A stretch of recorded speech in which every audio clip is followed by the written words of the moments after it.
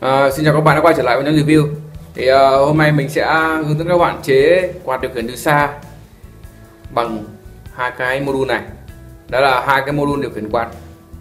Cái này là GTX à, QTX 5K1 đây.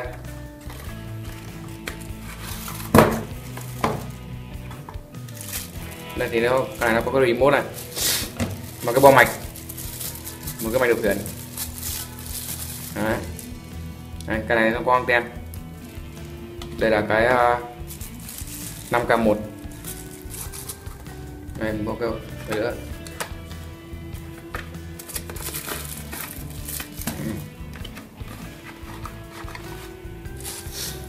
Để bên này mình có đây remote.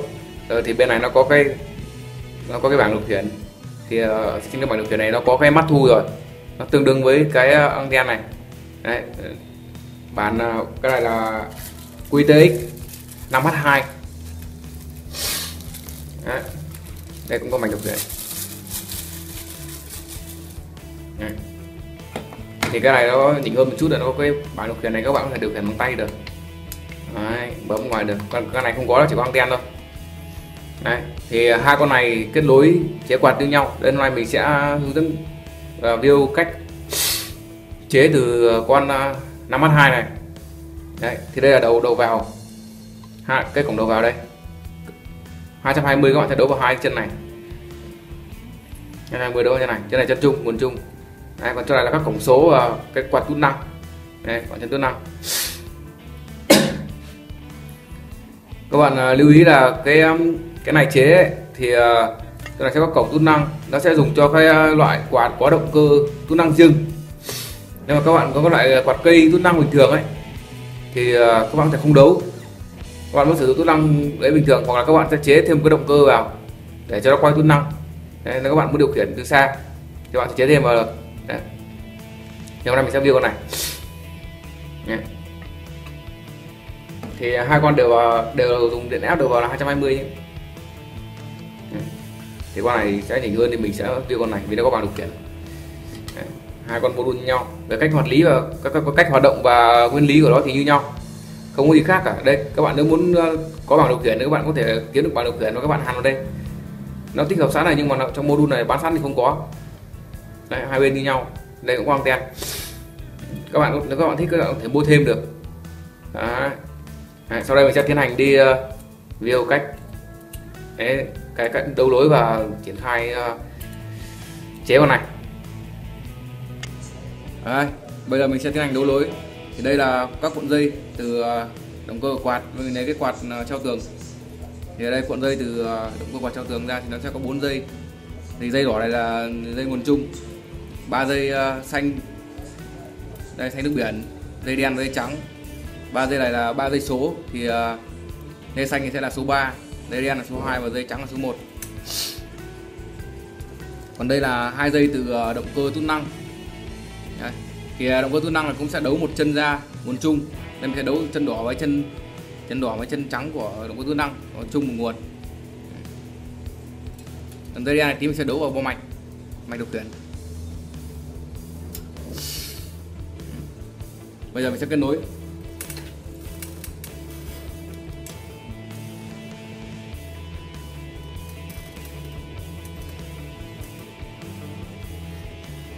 Nghe theo thứ tự nha các bạn.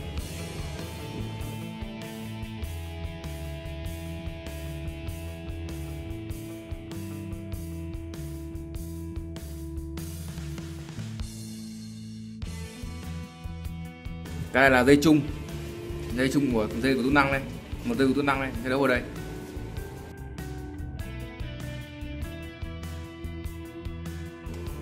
Số 3 từ bên này qua số 3 này, số 2 này, số 1 này, và một chân tút năng này. Đấy. còn à, dây chung nguồn chung, mình sẽ đấu vào bên này. Đây.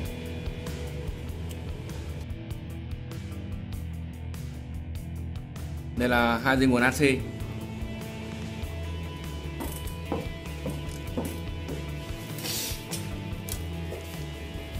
bây giờ mình sẽ kết nối bằng điều khiển.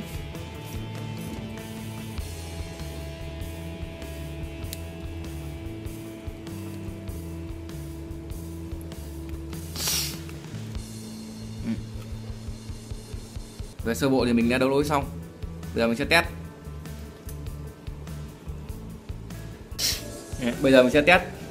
Trước tiên mình sẽ test với cái ờ, bảng điều khiển này trước. Đây là nút nút nguồn. Đây là cái công tắc. Đây là những phím à, đây là sẽ là các cái chế độ gió số 1 số 2 số 3 đây. đây là số 1 này. Số 2 này. Bạn ta thấy cái này có đèn led nó cái nhảy. Đây. Đây, số 1 đây là tút lăng. Đấy các bạn thấy trục quay tút năng động cơ động cơ tút năng đang quay. Mình sẽ dừng. Đấy, chạy tiếp. Đấy. còn cái là chế độ hẹn giờ nhé các bạn. Đây. Bạn thấy bên này của hiển thị. Đấy, cho các bạn chọn chế độ. Cho giờ mắc tối đa là bảy tiếng rưỡi. Đấy, khi nào nó sáng hết tất cả các đèn. Đây 0,5 1 2 4 nó sẽ là 7 tiếng rưỡi. Nó sẽ hiển thị đây các bạn. Còn à, chế độ à, cái chế độ thay đổi uh, chế độ gió giữa các chế độ sẽ chỉ có trên điều khiển. Đây mình sẽ test về điều khiển. Đây sẽ tăng. Đây là ừ, phím này là phím ờ, tăng số. Đấy, cái số 2 này. Số 3 này.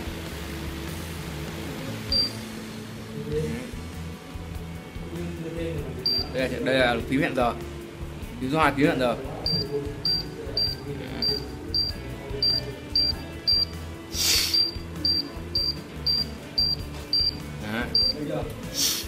Phím số 3 phím này là phím chọn à, chế độ à, tự động thay đổi giữa các chế độ gió nghĩa là thay đổi tự động thay đổi giữa số 1 số 2 và số 3 thay đổi liên tục. Đây là phím tút năng. À mình à, hơi uh, nhầm một chút nhé phím uh, thứ thứ tư này mới là phím thay đổi giữa các chế độ. Còn phím thứ ba là phím phím tút năng.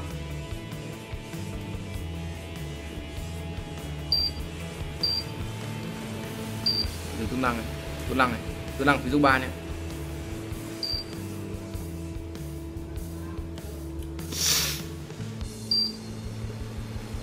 Còn phím cuối cùng là phím nguồn, tắt. À.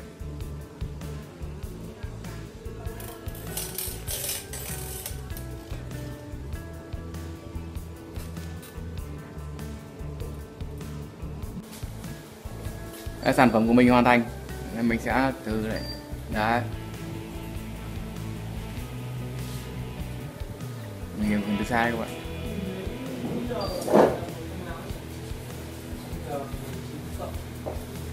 Đấy. đây là ok. Cách rất xa. Rồi.